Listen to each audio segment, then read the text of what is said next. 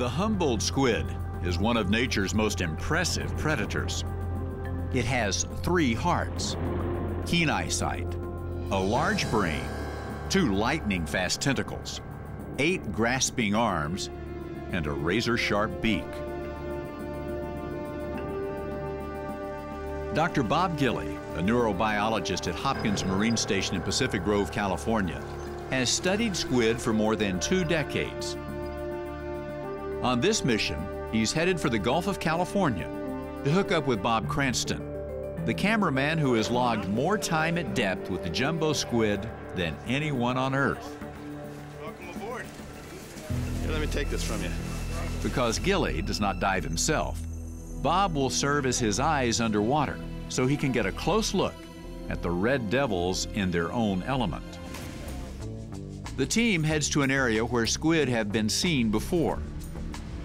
They'll wait till dusk, when it is believed that the red devils rise from as far down as 2,300 feet to a barely accessible 200 feet. Like many deep-dwelling creatures, Humboldt squid are not very sensitive to red light, the first part of the spectrum to disappear in the ocean. Lights?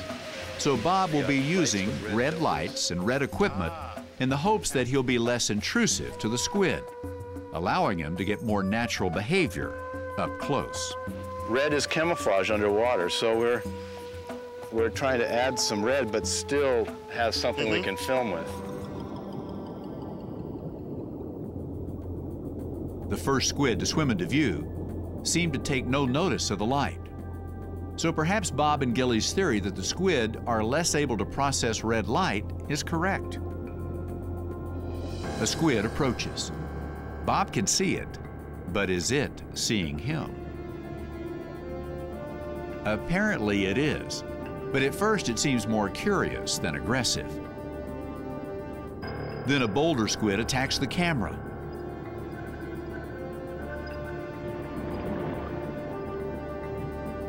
Now the devils seem to be coming from all directions. One attacks the lights.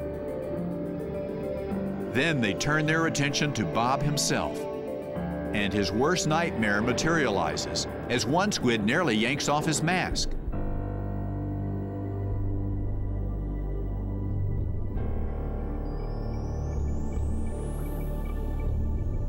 Then, as quickly as it all began, it's over.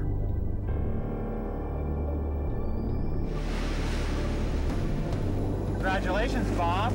Well, about what? About coming